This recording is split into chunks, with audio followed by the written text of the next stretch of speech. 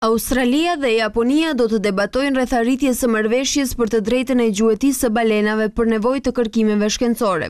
Këto dy shtete kishin arritur një marrëveshje në vitin një mijë e nëntëqind e tetëdhjetë e gjashtë që e lejonte gjuetinë komerciale të balenave në justifikimin e kërkimeve shkencore.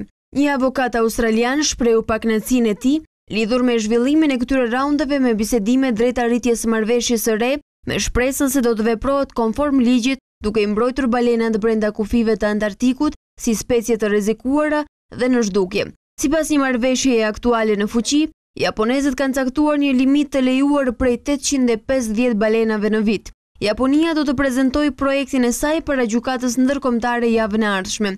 Sipas parashikimeve, nuk ka pritshmëri për një vendim të shpejtë në këtë drejtim.